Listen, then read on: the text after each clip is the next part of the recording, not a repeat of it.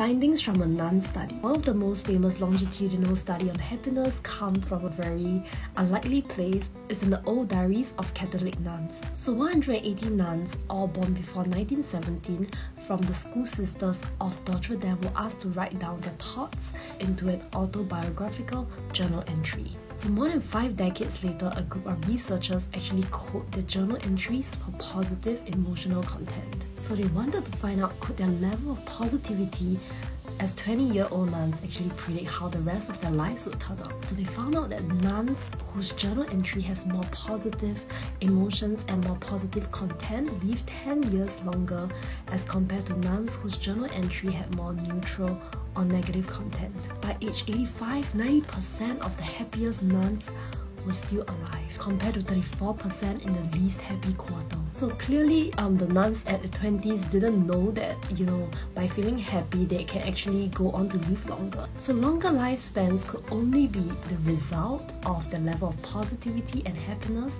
and not the cause.